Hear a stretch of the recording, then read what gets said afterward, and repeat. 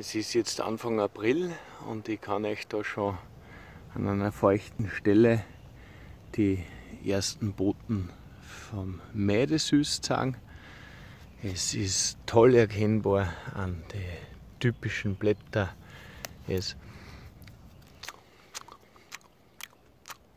hat seinen typischen, für mich, und jetzt wird's lachen, Geschmack nach Zahnarzt. Also weiß ich nicht, wie ein Zahnarzt schmeckt, aber für mich schmeckt Medisys so, wie es beim Zahnarzt riecht. Und ganz junge Medisysblätter. Oh, toll.